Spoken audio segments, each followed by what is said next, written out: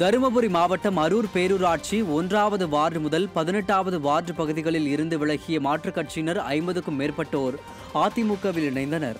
முன்னாள் அமைச்சரும் மாவட்ட கழக செயலாளருமான கே பி அன்பழகன் சிறப்பு அழைப்பாளராக கலந்து கொண்டு கட்சியில் இணைந்த நிர்வாகிகளுக்கு கழக துண்டு அணிவித்து வாழ்த்து தெரிவித்தார்.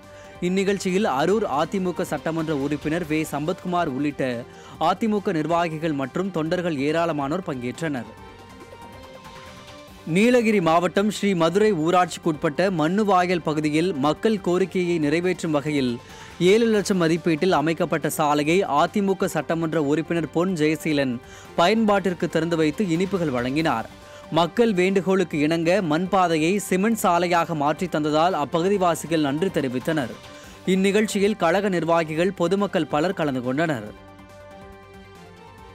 சேலம் மாவட்டம் மேட்டூர் அருகே பாலமலையில் ஏழு உயர்கோபுர மின் விளக்கை அதிமுக மாநிலங்களவை உறுப்பினர் என். சந்திரசேகரன் பொதுமக்கள் பயன்பாட்டிற்காக திறந்து வைத்தார்.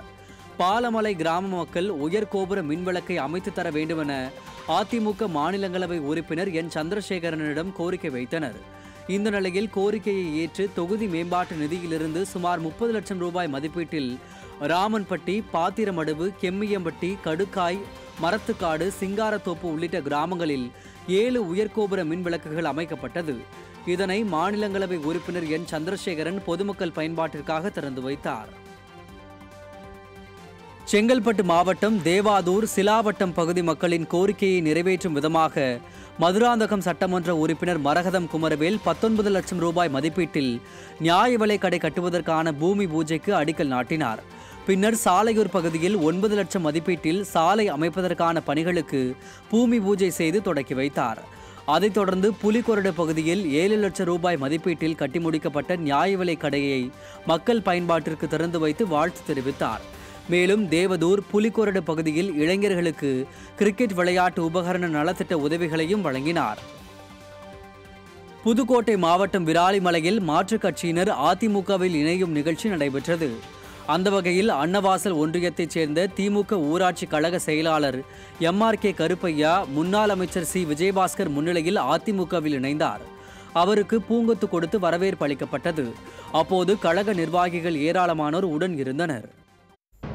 கன்னியாகுமரி மாவட்டம் தோவாலையில் சட்டமன்ற தொகுதி உறுப்பினர் மேம்பாட்டு நிதியிலிருந்து இரண்டு வகுப்பறை கட்டிடங்களை முன்னாள் அமைச்சர் என். தலவாய் சுந்தரம் திறந்து வைத்தார். தானுமாலையன் புதூர் பகுதியில் அமைந்துள்ள அரசு ஆரம்ப தொடக்கப் பள்ளியில் சட்டமன்ற தொகுதி உறுப்பினர் மேம்பாட்டு நிதியிலிருந்து பத்தொன்பது புள்ளி எட்டு பூஜ்ஜியம் லட்சம் மதிப்பீட்டில் புதிதாக கட்டப்பட்ட இரண்டு வகுப்பறை கட்டிடங்களை முன்னாள் அமைச்சரும் சட்டமன்ற உறுப்பினருமான என் தலவாய் சுந்தரம் குத்துவிளக்கு ஏற்றி திறந்து வைத்தார். இந்த நிகழ்ச்சியில் கழக நிர்வாகிகள் பலர் கலந்து கொண்டனர்.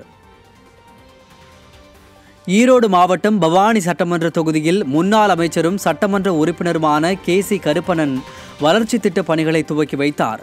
குருவரெட்டியூர் ஊராட்சியில் உள்ள ஜோதிபுரம் பாலகணவன் புதூர் உள்ளிட்ட பகுதிகளில் கான்கிரீட் சாலை அமைக்கும் பணிக்காக பத்து லட்சம் ரூபாய் ஒதுக்கப்பட்டுள்ளது.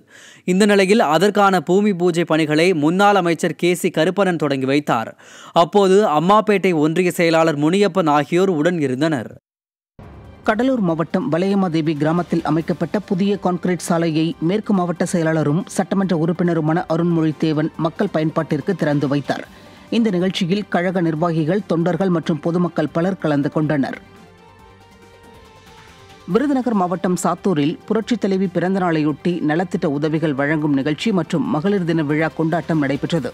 இதில் கிழக்கு மாவட்ட கழக செயலாளர் ஆர் கே ரவிச்சந்திரன் பங்கேற்று ஏழை எளிய மக்களுக்கு நலத்திட்ட உதவிகள் மற்றும் அன்னதானம் வழங்கினார்.